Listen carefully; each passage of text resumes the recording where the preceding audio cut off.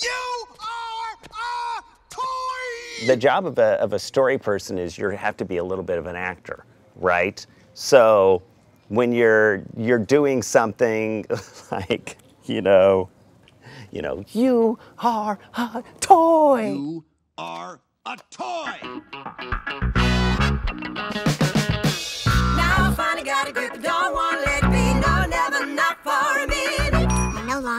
Longer fear hell because I've been to Camp Krusty.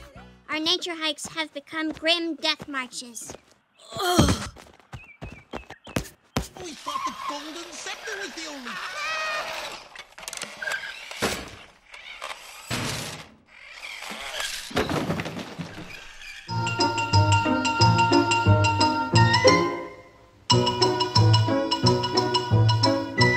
We are all very savvy when we see something in a story that doesn't feel real. Thinking about moments in your life that have been important to you and working those into the story, that helps the story to be authentic. So when I'm pitching an idea, I usually start off with, you know, when I was 12 years old, that was the first time I dot dot dot.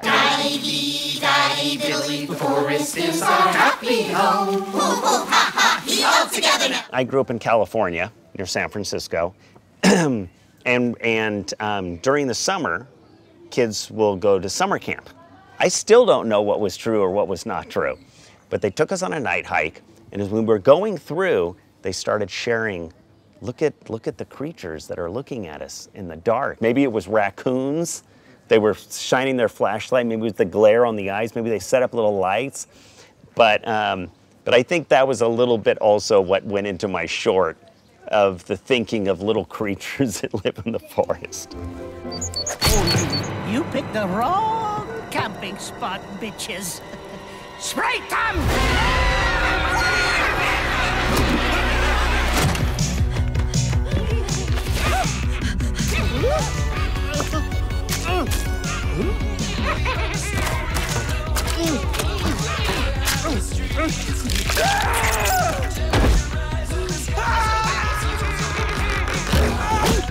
Whenever I see someone throw something on the ground, I'm, I'm kind of like the, uh, the older sprite who is like, I've had enough. You know, you treat the whole world as your own personal rubbish bin, and I'm getting rid of all of you now, right? And you know what a great story does? A great story makes you feel something.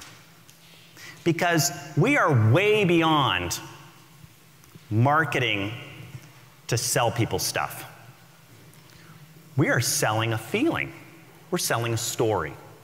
We want people to feel something. From the hook to how they're trying to connect to me.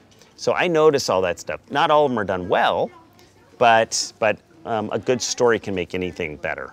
And no matter how dull the, uh, the, the product or even the, uh, the, the content of, a, of, a, of, a, of, a, of an idea, a story can always make it better.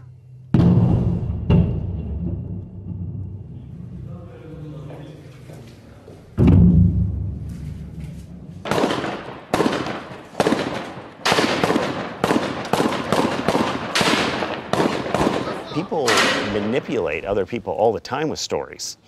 And so I always feel that storytelling is like this superpower that can people can use for good or for evil. This is a a highly choreographed bit of nationalistic fervor. I'm in the US, so we see one thing on the news.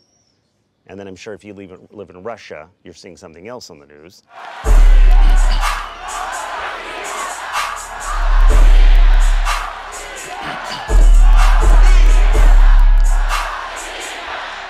When we're seeing images on the news, it releases cortisol and gives us anxiety. And when those chemicals are being released, it does make people feel more anxious and they do things that are rash, that are not thought out.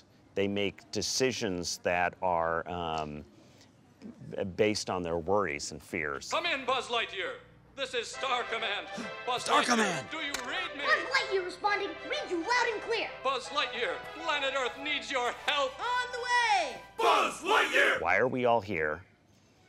How do we get through all this? And stories um, give us the ability to be able to find a kind of our purpose. And I, I think that's the deep meaning of why people like a great story.